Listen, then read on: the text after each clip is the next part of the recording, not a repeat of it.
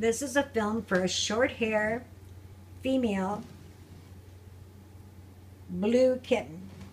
Now she might be turning tortoiseshell. If you look at her toes, you can see that she's got some light um, color spots on her toes.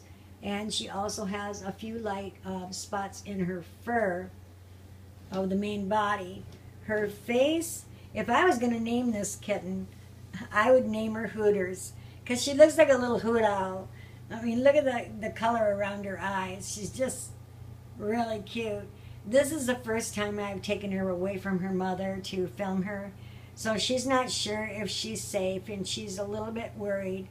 But as a whole, um, she is a bright, intuitive, um, curious little kitten. And uh, she has a nice set to her ears. Her nose is well placed. Her coat is to die for. I mean, she just has a fabulous coat. It's really thick. And when it's this thick when they're babies, it's really um, stunning when they get older. She's a very pretty kitten. And I think she's going to grow up to be a real beauty. She can be purchased as a pet or um, as a breeding female. She would be qualify in either area. She really is um, very nice.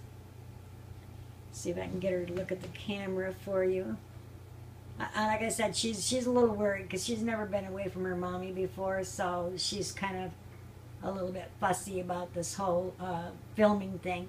I don't think she wants to be a movie star, do you? No, she doesn't. She doesn't like it.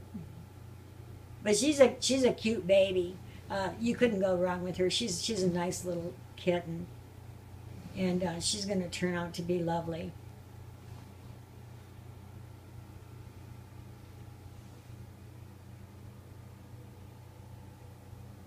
This is Exotic Dit-Dots.